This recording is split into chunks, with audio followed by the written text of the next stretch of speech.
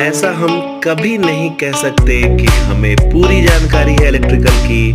कुछ न कुछ नई बातें हमें हमेशा सीखने को मिलती है। तो ऐसे ही इलेक्ट्रिकल्स वीडियो देखने के लिए हमारे चैनल को सब्सक्राइब कर लीजिए। हमारे चैनल पे हमेशा इलेक्ट्रिकल रिलेटेड नई नई वीडियो आते रहती है